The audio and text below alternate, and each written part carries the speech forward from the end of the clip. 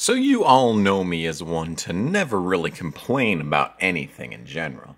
But there is one thing that's got me riled up tonight. So I've been doing a lot of B-class fix this week because I love Texas. And the thing is, is that at the start of the week, I was getting into the middle splits and I was actually doing good. But now that I'm actually getting top split all the time, I'm actually doing terrible.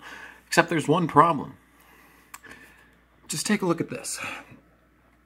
Logan Clampitt, Colton Davis, Graham Bowling, Zach Novak. In B class fix. Are you telling me that we have iRacing leeches on our hands? Trying to ruin the up and coming drivers in the lower series. Well, I'm here to say this right now. No more leeches. I can't even take myself seriously anymore. That's that's the state that we're in.